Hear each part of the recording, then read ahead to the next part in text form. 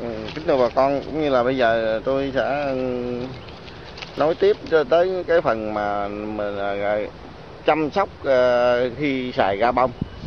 Thì như vậy đó là bà con thấy trên tay tôi dịnh vậy? Đây là kêu bằng ta kêu bằng bông coi như cựa gà.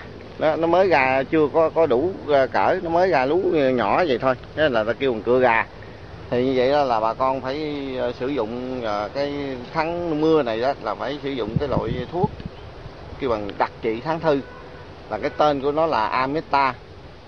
Đó, rồi bà con pha chung với loại thuốc sâu cũng như là thí dụ như công ta đo thì để cho nó những cái loại thuốc sâu mà nó không có nhũ dầu quá nó mát để mình khi mình xịt vô nó không ảnh hưởng tới tới cái bông.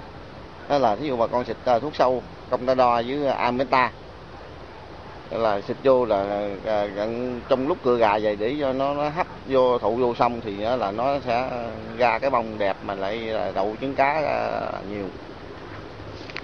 Tôi cầm cho bà con coi là nó đã có trứng cá cái này bằng tim nhang lớn hơn tim nhang. Thì vậy là, là từ cái cửa gà đó, đó khi mình xịt thuốc vô xong đó, thì khoảng một tuần lễ sau thì nó sẽ được cái trứng cá bay lớn vậy. Nó được trứng cá bay lớn vậy thì vậy bà con tiếp tục xịt thêm một lần là, là Ameta đó là lần này mình không cộng thuốc sâu nữa tại vì mình lúc cựa gà mình đã xịt một lần có thuốc sâu trong đó rồi thì có những cái con sâu bọ côn trùng nó đã đi rồi. Thì lần này mình xịt A- Ameta thuốc dưỡng thôi. À, có thể bà con à, kỹ bà con hãy cộng thêm những cái loại thuốc là kích thích. Thí dụ như là K3 ờ, mà liều nhẹ thôi để để cho cái trái này nó phát triển nhanh đó, thì ờ, là hai lần trong cái cái đợt bông là cái cái cái trái này nó sẽ an toàn, nó vượt qua được là mưa, gió rồi này kia.